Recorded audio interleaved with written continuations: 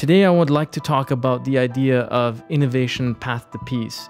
And I want to start by saying that if it wasn't for space technology, Timez5 would not have disrupted an industry that hasn't had innovation in 1400 years, which by surprise is worth $2 trillion today, and very few, if any companies are tackling the innovation side of what we do. So today we stand here very proud being part of the space program uh, with our friends at the Space Foundation, NASA, and friends and partners of such. Today, I'd like to start by sharing uh, three stories that, that talk about how innovation contributes to the world and makes it better to us.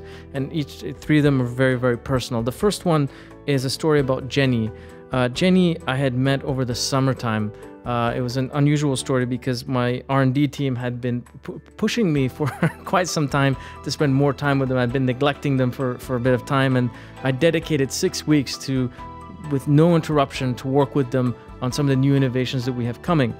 And uh, delightfully, at, at, one evening, uh, the engineers have their own uh, get-togethers where they do their own personal projects outside of what I have them do for us. So we went to this uh, worn down warehouse at the end of the city, and it felt like a bit of a movie. I was a bit afraid somebody was going to jump out and do something to us. And we went to this little, nice little warm warehouse, and I found all these little, uh, well, all these engineers coming up with all their own little projects and building them on the spot and helping each other. Everything from robots to 3D printers, and this was just them having fun. But that wasn't the interesting part. The interesting part was in a deep, far corner, there was a young girl uh, working on one of the robots. So I walked over and I introduced myself and I, I, wanted to know a little bit more about what she's doing. She, she was very out of place.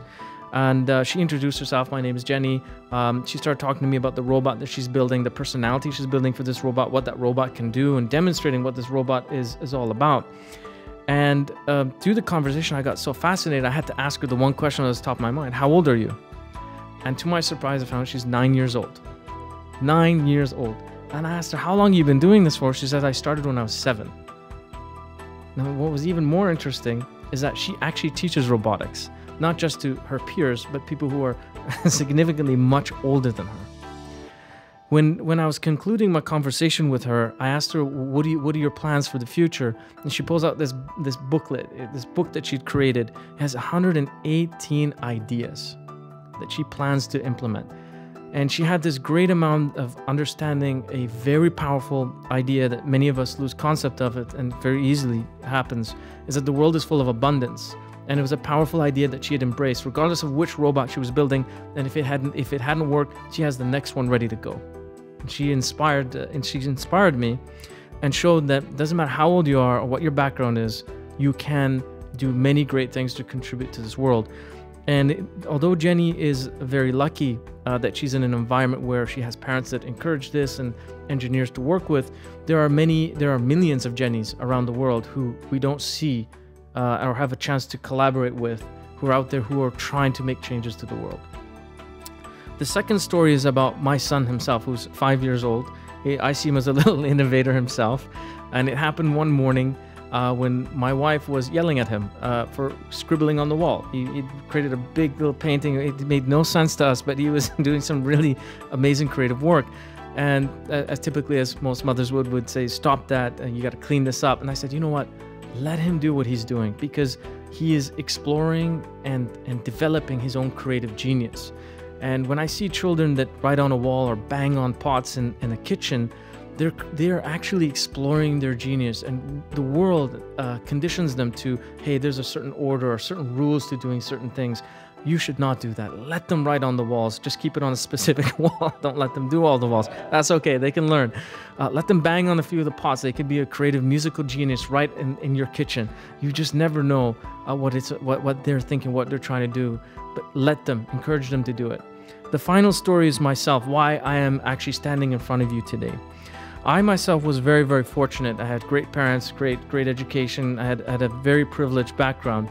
And as I had gone through my, uh, let's say, formal career, I had, I had come to a point where I had sort of had this personal uh, epiphany about what am I going to do with all this? What am I going to do with this great knowledge I have, these skills that I've built?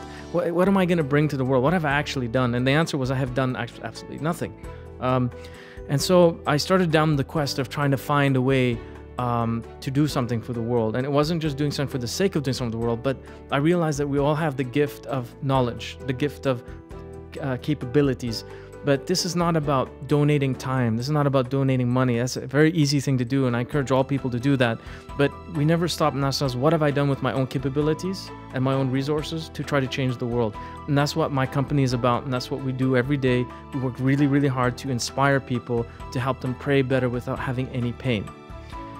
So, finally, through this this journey of mine, um, we were very, very fortunate that last uh, last year in 2013, we were recognized by one of the world's greatest innovators, somebody who, in the face of fear, has enormous amount of courage, a man who, when is in a region of complete disparity, brings hope and light to everybody. We were recognized by His Highness Sheikh Mohammed bin Rashid Al Maktoum the Vice President, Prime Minister, and ruler of Dubai, who recognize us as a global innovation company in a space where rarely anybody plays. And he recognized because he's building Dubai as the capital of Islamic economy. And we were very, very fortunate to be part of that.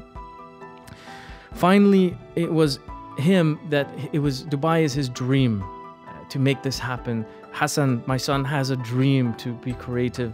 Uh, Jenny has a dream to use robotics to change the world. And today I'm here sharing my dream with you and bringing space technology to others who have other dreams.